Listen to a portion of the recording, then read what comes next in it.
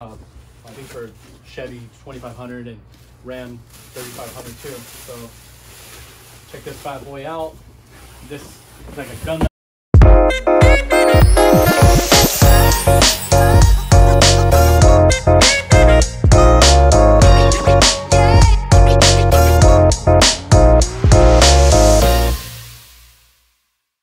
Check this one out. This is Black Rhino's axle wheel.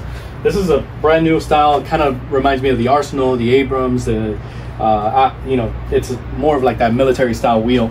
So this is this comes in an 18 nine and a half battleship gray and a negative 18 uh, bolt pattern 8 on 170 with a 1 on 25 center bore. Uh, whenever you shop on our website, you shop 1895 AXL-88170G25 and it'll take you to this part. This one was uh, a gentleman with an excursion that wanted this style wheel. Um, these fit well on F250s and they make bolt patterns in this wheel uh, I think for Chevy 2500 and Ram 3500 too. So check this bad boy out. This is like a gunmetal finish. They call it Battleship Gray. It's a gloss, yes, gray. Uh, comes with a black center cap with the Rhino logo on it in white. Uh, screws on the outer edge. It looks like they're just fake screws uh, that go all the way around, hex style, so they, maybe you could just take them off.